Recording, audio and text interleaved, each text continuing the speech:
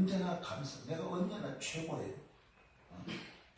난이 오늘은 오늘이 난 너무 감사하고 또 오늘 이 새벽은 여기서 너무 행복하고 그리보다 훨씬 더 못한 데 갈지라도 또 행복하고 다음 주일은 제가 춘천 지역에 이제 어, 마을 잔치도 하고 그러는데 또 그곳에 가면 거기서 감사하고 주님이 같이 하시는 것이 의미가 있는 것이지 않다.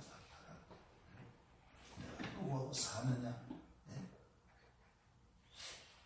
내가 부모가 우리 부모가 훌륭하지 않고 우리 집이 대단하지 않아도 난 우리 집에 주님 같이 하심으로 행복한 거예요. 만족을. 그래서 저는 어, 우리 집에 우리 집에 이제 어, 할머니가 계시니까 집안 어른들이 모두 친척들이 많이.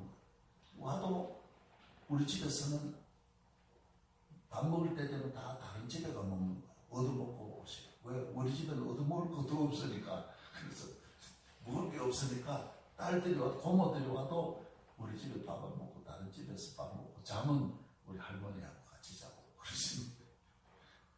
그래서 나는 우리 집에 누가 온다 그러면 너무 고마워. 아, 우리 집에 누가 이렇게 오시나. 감사한. 그러나 우리 집에 주님이 어렸을 때 이미 찾아오시. 그래서 나는 그걸 몰라가지고 그 주의 종이 되는 것이 자기 결심으로 되는 게 아니야. 그래서 밤에 자면 어, 주님이 나하고 같이 같이 안아주시고 동행해 주시고 그걸 늘 찬송하는 자신이 부르고 네? 노래 부르고 주님이 함께 하시고. 같이 한다. 오늘 교회가 주님이 함께하는 하나님의 교회가 되고 목사님과 함께 하시고 여기에 많은 때가 되는 이번에도 때에 이만큼 새벽기들이 모여 들어주시고 은혜 내려주시고 오늘 아침 나온 우리 모든 분들 위해 하나님의 축복이 같이 하여 주옵소서.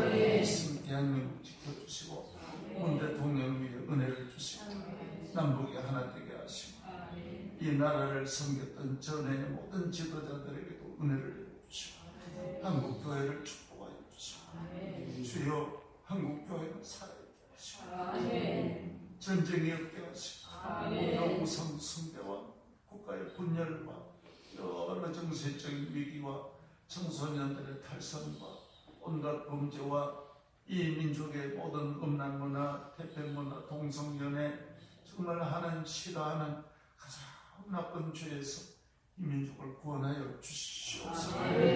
소외되고 슬프고 버림받은 수많은 불쌍한 우리 이웃들에게 은혜를 내려 주옵소서. 이제 우리 주 예수 그리스도의 은혜와 거룩하신 하나님의 사랑과 성령의 충만하심이 이 교회 위에 영원히 함께 하실지어다.